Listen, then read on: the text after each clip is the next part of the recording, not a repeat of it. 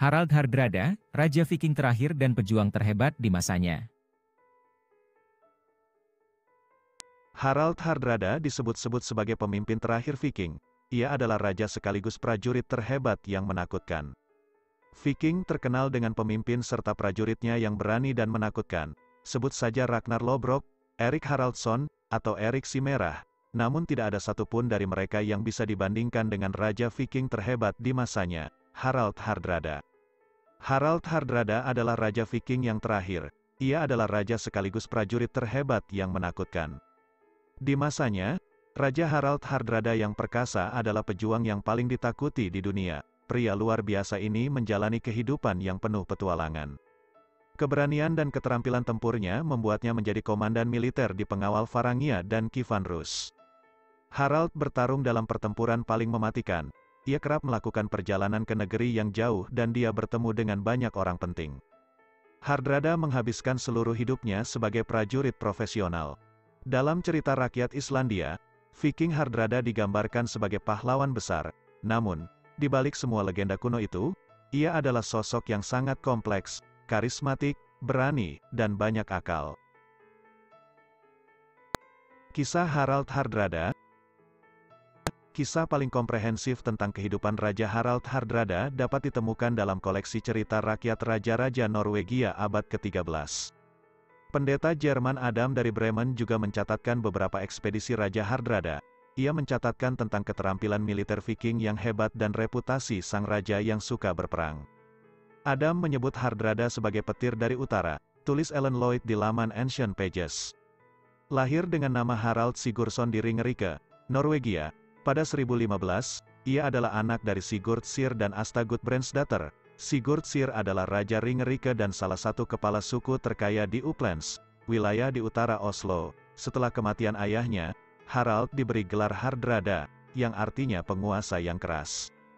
Dari pernikahan pertamanya, Asta Gudbrandsdatter juga merupakan ibu dari Raja Olaf Haraldsson dari Norwegia. Hardrada sangat mengagumi saudara tirinya, Raja Olaf. Ia menyaksikan kematian sang kakak di pertempuran. Peristiwa ini sangat penting bagi takdir pribadi Hardrada dan mengubah hidupnya. Hardrada setia kepada saudara tirinya sampai akhir hayatnya. Harald Hardrada bertarung dalam pertempuran Stiklestad di usia 15 tahun. Ketika berusia 15 tahun, Hardrada terlibat dalam pertempuran pertamanya di bawah komando Raja Olaf. Heimskringla karya Snorri Sturluson menggambarkan apa yang terjadi selama Perang Stiklestad, bisa dikatakan jika ini adalah awal dari perjalanan militer Viking Hardrada. Pada 1028, terjadi pemberontakan yang membuat Raja Olaf kehilangan tahta di Norwegia. Lawannya saat itu adalah Knut yang Agung, Raja Denmark Inggris yang merupakan penguasa salah satu kerajaan Nordik terbesar. Raja Olaf, yang telah dibaptis, melakukan yang terbaik untuk mengubah Norwegia menjadi Kristen, dia juga menghidupkan kembali dan merevisi Undang-Undang Harald Fairhair, raja yang menyatukan Norwegia pada tahun 872 Masehi. Dia juga menegaskan pengaruhnya di koloni Atlantik Utara. Tidak diragukan lagi bahwa Raja Olaf membuat banyak perubahan penting di kerajaan Norwegia. Namun Knut yang Agung punya rencana lain. Dia ingin merebut kembali tahta Norwegia dan Raja Olaf pun terpaksa diasingkan. Dua tahun kemudian, pada 1030, Raja Olaf kembali ke Norwegia dengan kekuatan lebih 1.400 orang prajurit beserta Hardrada dengan 700-100 prajuritnya pun turut serta kembali ke Norwegia. Bersama-sama mereka melawan pasukan Knut yang agung. Tetapi pertempuran tidak berakhir dengan sesuai harapan, Raja Olaf terbunuh dan Hardrada terluka parah sehingga terpaksa melarikan diri. Meskipun dia baru berusia 15 tahun, dia menunjukkan keterampilan bertarung yang sangat baik selama pertempuran. Snorri Sturluson, penulis Islandia, menggambarkan Harald Hardrada secara fisik lebih besar dari pria lain dan lebih kuat. Penampilannya pasti mengejutkan bagi sebagian orang. Harald Hardrada memiliki rambut dan janggut tipis, dan kumis panjang, salah satu alisnya terletak agak lebih tinggi dari yang lain. Harald Hardrada dicatat memiliki tangan dan kaki yang besar dan tingginya bisa mencapai 5 L, atau 1 L setara dengan 45,72 cm. Viking Hardrada bergabung dengan Kievan Rus dan penjaga Farangia. Hardrada berhasil menyeberangi Baltik dengan orang-orang yang selamat dari pasukan Nat yang agung. Di Rusia, dia mengunjungi kerabat jauhnya Yaroslav I, Pangeran Agung Rus atau Yaroslav Sang Bijak. Pangeran Agung Rus telah membantu Raja Olaf setelah pemberontakan. Karena membutuhkan prajurit yang terampil, dia mempekerjakan Hardrada. Sang prajurit hebat itu pun menjadi kapten pasukan Pangeran Yaroslav dari Kivan Rus. Hardrada melakukan banyak pertempuran untuk Yaroslav Sang Bijak. Setelah menghabiskan beberapa tahun di pasukan Pangeran Yaroslav, Hardrada meninggalkan Kiev bersama para prajuritnya. Dari situ, ia melakukan perjalanan ke Konstantinopel, ibu kota Kekaisaran Bizantium. Tujuannya adalah untuk bergabung dengan penjaga Varangia yang mewakili resimen infanteri elit Kekaisaran Bizantium. Penjaga Varangia adalah bangsa Viking yang disewa yang berhasil menaklukkan wilayah-wilayah di seluruh kekaisaran. Mereka bertempur di Kreta, Italia, dan Asia Kecil. Prajurit profesional ini sangat dihargai karena keberanian dan kesetiaannya. Selain itu, mereka memiliki keterampilan bertarung yang tinggi dan kemampuan menjalankan perintah secara efisien. Saat bergabung, ia menunjukkan prestasi luar biasa dan menjadi pemimpin penjaga Varangia. Sebagai komandan, dia bertempur di tempat-tempat yang jauh seperti Mediterania, Asia Kecil, Sisilia, dan Tanah Suci. Dia adalah seorang pemimpin militer yang terkenal dan dihormati, tambah Iliot lagi.